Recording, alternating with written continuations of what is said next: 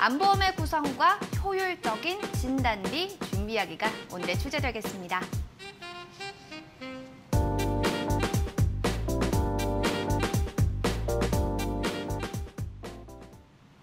현대인들의 사망원이 1위이자 또 현대인들이 가장 무서워하는 질병 중에 바로 암이 빼놓을 수가 없겠는데요. 암만큼은 모든 분들이 좀 대비를 해야 되지 않나 싶습니다. 그래서 암이 어떤 내용을 가지고 있는지 일단 암에 대한 정의부터 들어보도록 하겠습니다.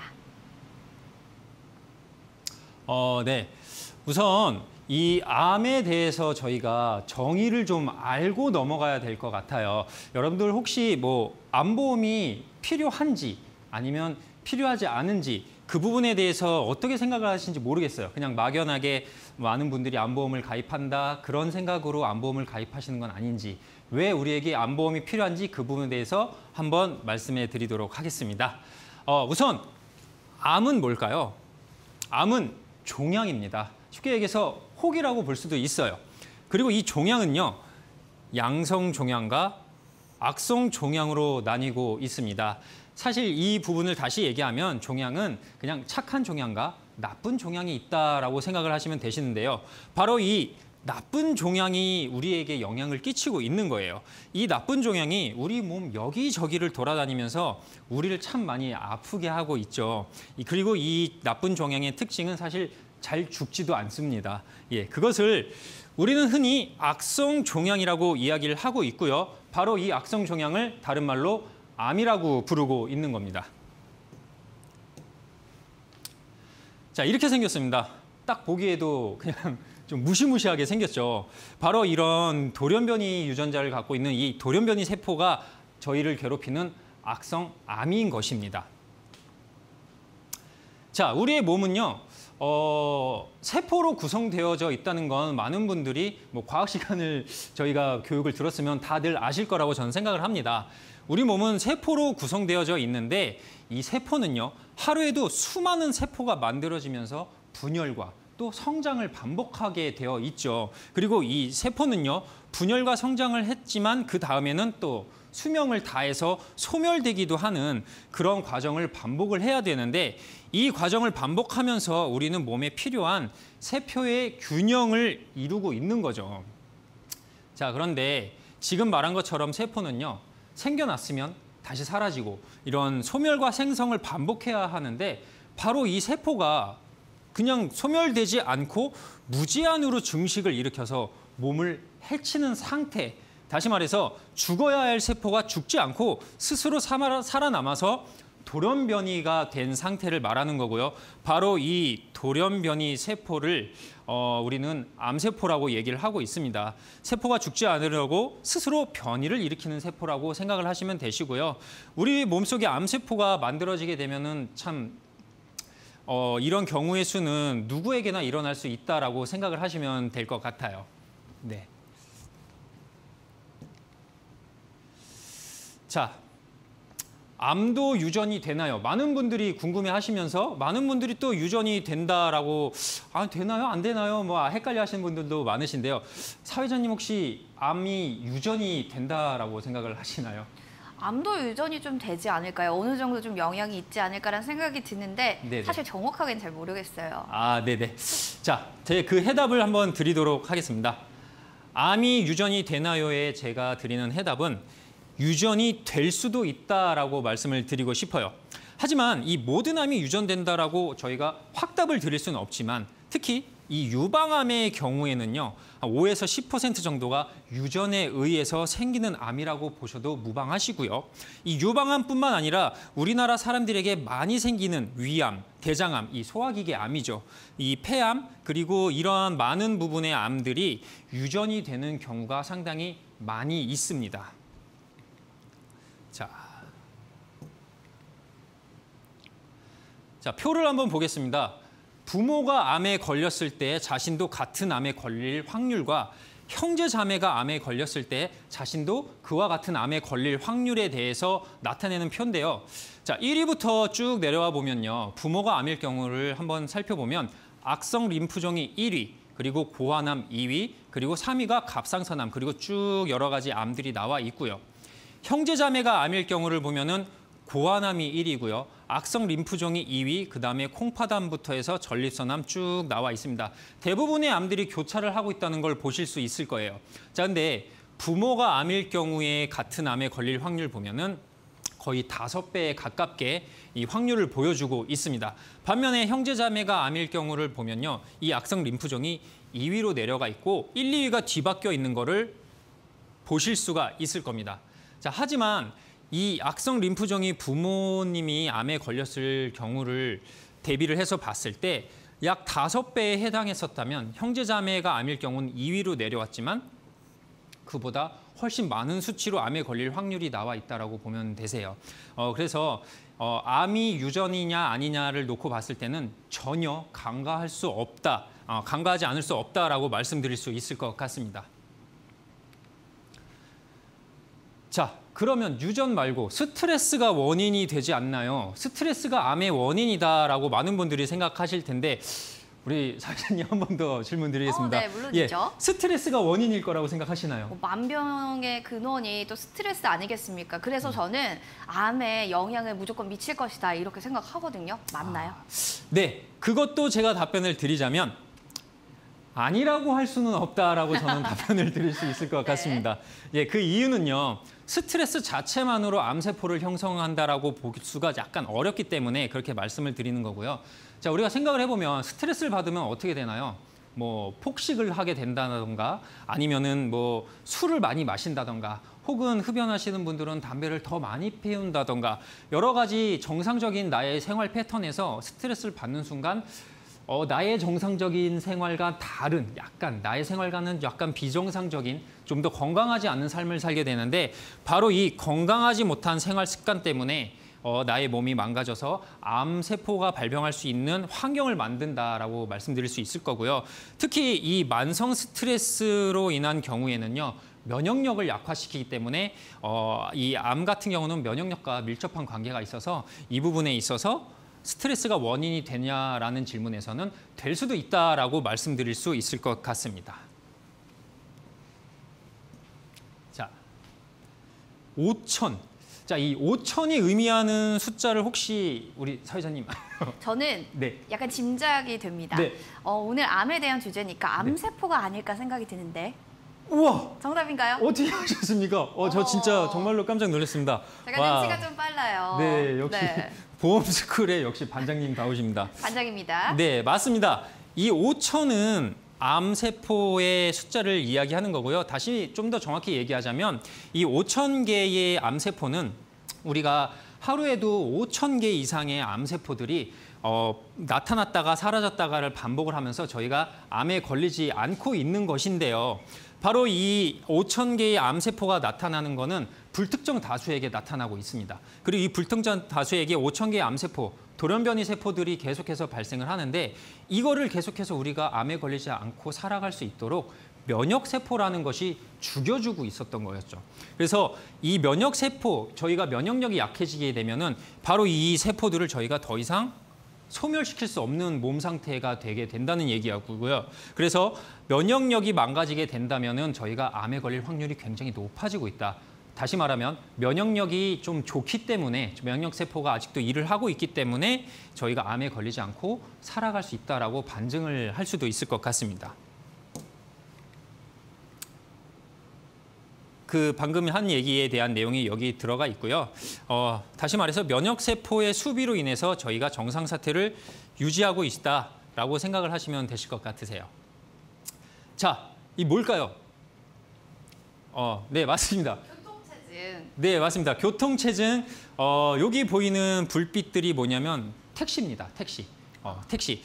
어, 이 택시 대수가 어, 사회자님 혹시 택시가 전국에 몇 대 정도 있을 거라고 생각을 하세요? 그래도 적어도 한 천 대 이상은 있지 않을까요? 천 대요? 네. 어, 천 대는 제가 봤을 땐 저희 동네에도 있을 것 같은데요. 어느 정도 되나요, 예, 규모가? 전국의 택시가 약 25만 대가 있다라고 합니다. 예, 그럼 암 환자는 몇 명일까요? 어머. 네. 2015년도 통계로 암 이 한 해 동안만 발생한 암 환자 수가 21만 4,700명의 통계를 나타내고 있습니다. 비슷하네요. 제 내가 오늘 집에 나가서 택시 한 대를 봤으면 암 환자 한 명을 본 거랑 동일하다라고 생각을 하시면 될 것 같아요. 어마어마한 수치죠. 그러네요. 자, 다시 말하면 암 환자 수는 전국의 택시 25만 대, 아까는 2000, 2015년도 통계로 21만 명이었으면요. 전국의 암 환자는 약 100만 명 정도가 되어져 있다고 합니다. 그 정도로 이 암 환자들은 어, 우리 곁에 있, 있을 뿐인 거죠. 택시는 이제 어떤 택시 명찰을 달고 있잖아요. 택시라고 달고 있는데 암 환자들은 암 환자라는 명찰이 없기 때문에 저희가 모르고 지나가고 있었던 거라고 보면 되세요. 음.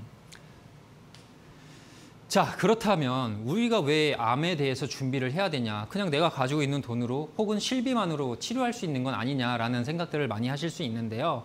아, 암 종류별 암 치료 비용 순위입니다. 1위가 간암입니다. 간암 평균 치료 비용이 물론 교통비와 간병비 등을 포함한 의료비라고 보면 되시고요. 약 6,600만 원에 달하는 어, 비용이 발생을 하고 있고요.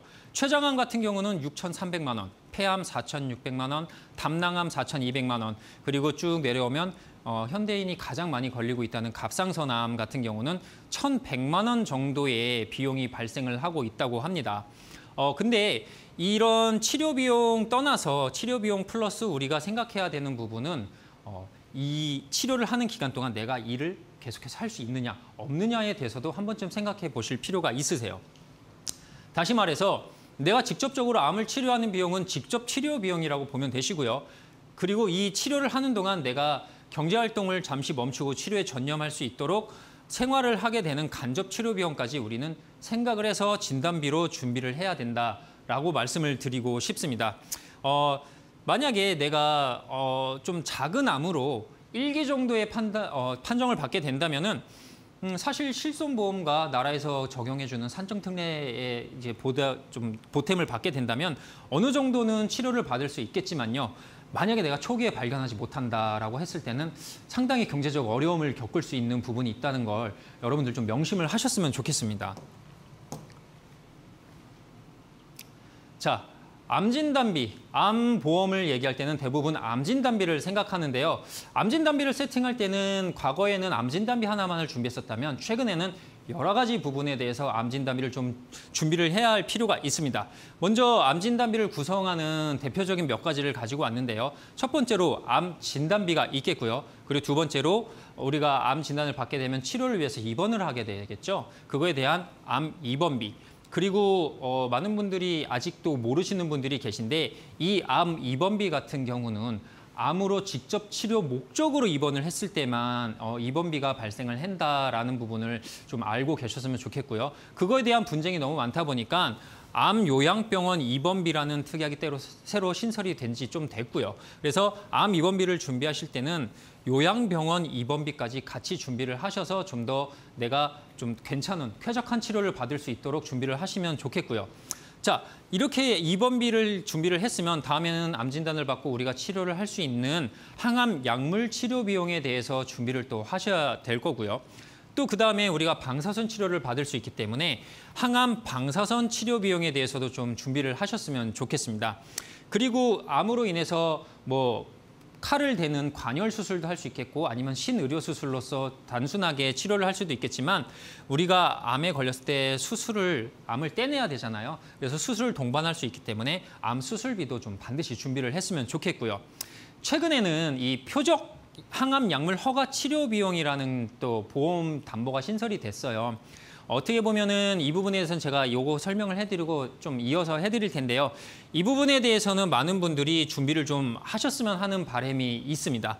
자, 그 다음에는 항암 세기 조절 방사선 치료 비용도 있겠고요. 그 다음에는 또 우리 국립암센터에서만 치료받을 수 있는 항암 양성자 방사선 치료 비용 등등 여러 가지 우리가 준비해야 할 특약들, 우리가 준비해야 될 암 보험들이 굉장히 많다라는 사실 혹시 알고 계셨는지 모르겠지만 이 부분에 대해서도 암 보험을 준비를 하실 때 반드시 체크를 하셨으면 좋겠고요. 자, 그리고 내가 암 보험을 이미 가입을 했다 하시는 분들은 내가 가입한 암 보험에 이런 부분들이 들어가 있는지 한 번쯤 증권을 열어서 체크를 해 보셨으면 좋겠습니다. 자, 모든 보험들을 제가 말씀드리긴 좀 그렇고요. 어, 최근에 신설된 아, 가장 핫한 많은 분들이 준비하고 계시는 이 표적 항암 약물 허가 치료 비용과 항암 세기 방사선 치료비 그리고 항암 양성자 요법 같은 경우를 한 번쯤 짚고 넘어가 보도록 하겠습니다. 자, 보시면 표적 항암 치료비가 어떤 거냐라고 놓고 봤을 때 어, 우리 항암 치료의 종류에 대해서 한번 말씀을 드려야 될 것 같아요. 먼저 우리는 항암 치료를 크게 3세대 치료라고 볼 수 있고요. 1세대 치료가 바로 화학 치료라고 보면 되시고요. 2세대가 제가 말씀드린 표적 항암 치료라고 보시면 되시고요. 3세대는 아까 제가 얘기한 그렇게 강조한 면역력을 강화시키는 면역 치료라고 보면 되시는데요. 자, 먼저 1세대 화학 치료가 어떤 거냐? 어, 우리 초코파이 선전 보시면은 그 노래가 나오죠. 막 말하지 않아도 알아요. 막 그런 노래가 나오는데 이 화학 치료 같은 경우가 바로 그 부분입니다. 비니 모자를 쓰고 뭐 어떤 암, 보, 암에 걸린 주인공들 보면 머리가 좀 빠지거나 뭐 이런 부분이 있는데요. 이 화학 치료를 했기 때문이에요. 이 화학 치료가 뭐냐면요. 어, 이 화학 항암 치료는 암세포의 특징이 뭐냐면 세포 번식이 좀 빠르게 나타나는 특징을 가지고 있어요. 그래서 이 빠르게 나타나는 이 화학 치료 같은 경우를 좀 어, 화학 치료로 빠르게 생, 이제 분열과하고 이런 자라나는 이런 암 치료를 암 세포를 죽이기 위해서 나온 게 화학 치료인데 어, 세포 변이가 빠르게 일어나는 걸 치료하다 보니까 우리 정상 세포도 조금 빠른 것들이 있겠죠. 눈에 띄게 빠른 것들이 있어요. 그래서 빠른 것들을 죽이는 특징을 가지고 있다 보니까 빠른 정상세포까지 같이 죽이게 된 거예요. 그래서 암세포만 공격을 해야 되는데 정상세포까지 같이 공격을 하게 되면서 여러 가지 부작용들이 생기기 시작하고 어, 많은 분들이 이제 머리가 벗겨진다던가 아니면은 이제 뭐 힘이 없어져서 여, 좀 역겨움이 올라오면서 밥을 먹지 못한다던가 하면서 많은 부작용들을 이루고 있어서 이 화학 치료는 좀 많은 분들이 꺼려 하실 수 있는 부분이라고 생각을 하는데 어, 이거의 장점을 하나 꼽자면은 나라에서 산정특례 적용을 해주기 때문에 이 치료를 받게 된다면은 치료 비용이 크게 들지 않는다는 점 좀 기억을 해두시면 좋겠고요. 치료 비용이 크게 들지 않기 때문에 어, 항암 치료 비용, 항암 약물 치료 비용이라는 특약에서도 충분히 보상을 받으실 수 있습니다. 자, 그럼 2세대 표적 치료는 뭐냐? 어, 암세포에 보면은 표적이 있는 암세포가 따로 있습니다. 그래서 이 내가 암에 걸렸다면 내 암세포에 표적이 있냐 없냐를 검사를 해서 어, 표적이 있는 치료 같은 경우는 그거에 맞는 표적 항암 치료를 적용을 받을 수가 있는 거죠. 근데 이 표적이 있냐 없냐는 뭘로 검사를 해야 되냐면 유전자 검사를 해야 됩니다. 어, 유전자 비용도 사실 크게 만만치 않은 부분인데 이 유전자 검사를 해서 표적이 있다라고 판단이 된다면 그 표적에 맞는 항암 치료를 또 진행을 할 수 있는데 이 항암 약물 치료, 표적 항암 약물 치료 같은 경우는 대다수가 비급여 항목에 들어가고 어, 사실 거의 다 내 돈으로 치료를 해야 되는 경우가 발생할 확률이 굉장히 높습니다. 그래서 이 부분 같은 경우 때문에 제가 과거에 이 특약이 나오기 전에 암진단비는 좀 넉넉하게 준비를 하시기를 권해드렸던 겁니다. 어, 내가 가지고 있는 경제력을 가지고 어떤 치료를 받을 수 있는지가 판가름 된다면 어, 소액으로 예측 가능한 소액으로 이 표적 치료를 받을 수 있는 특약 하나 정도는 앞으로 하나씩은 가져가는 게 좋다라고 저는 말씀을 드리고 싶고요. 어, 3세대 항암 치료 같은 경우는 면역 치료를 볼 수 있는데 사실 이 면역 치료는 해당하는 암들이 별로 많지는 않습니다. 어, 비용도 만만치 않고요. 그래서 면역 치료까지는 제가 말씀드리진 않겠지만 적어도 우리가 표적 항암 치료 정도는 암보험을 준비하시는 분들은 반드시 준비를 하셨으면 하는 부분이 있고요. 하나 팁을 말씀드리자면 표적 치료는 아직까지 보험회사에서 손해율이 잡히지가 않았습니다. 손해율이 잡히지 않았기 때문에 비갱신 비갱신형 보험이 없다라고 말씀드릴 수 있고요. 대다수가 전부 다죠. 전부 다가 표적 항암 치료는 갱신형으로 이루어져 있는데 갱신형으로 이루어져 있다는 거는 굉장히 저렴하기 때문에 어, 이 부분에 대해서 지금 당장 준비를 좀 하셔서 부족한 암 진단비를 채우시는 부분 어, 전 좀 강조를 드리고 싶습니다. 자 그러면 세기 조절 방사선 치료는 어떤 거냐? 아까 얘기한 그냥 방사선 치료 같은 경우는 마찬가지예요. 정상세포를 같이 공격을 하고 있었던 거죠. 그래서 이 세기 조절 방사선 치료는 좀 더 정밀하게 조절을 해서 부작용과 후유증을 최소화하는 치료라고 보면 되시고요. 한마디로 얘기하면은 정상세포가 좀 다치지 않는 선에서 어, 여러 가지 종양을 치료할 수 있는 이 세기 조절 방사선 치료를 저희가 받을 수 있고 이거의 특징은 뭐냐면 고형암 환자에게만 가능하다라고 말씀을 드릴 수 있어요. 여기서 말하는 고형암은 암의 형태가 있는 걸 말하는 거고요. 어, 대표적으로 형태가 없는 암은 어떤 혈액암을 말할 수 있겠죠. 그래서 내가 어떤 장기나 이런 곳에 암의 형태가 갖춰서 생긴 암 세포라면 고형암으로 볼 수 있고 어, 그랬을 때 이 비용이 만만치 않기 때문에 나에게 어느 정도 암 진단비가 준비되어져 있고 혹은 나에게 암을 치료할 수 있는 치료 비용이 어느 정도 준비되어져 있다면 이 세기 조절 방사선 치료를 어, 받으실 수 있다라고 말씀드릴 수 있을 것 같습니다. 자, 양성자요법. 어, 꿈의 치료라고 한때 불렸었죠. 양성자 치료는 정상 세포에서 별다른 영향을 주지 않고 몸을 그대로 통과해서 암세포에 도달해서 그 파괴력을 순간적으로 극대화해서 그 자리에서 암세포를 어, 소멸시키는 그러한 치료고요. 어, 이거 같은 경우는 저는 뭐라고 표현을 하냐면 암에 걸렸을 때 칼, 칼을 댈래 아니면 빛을 쬐래라고 저는 항상 지금 얘기를 했던 것 같습니다.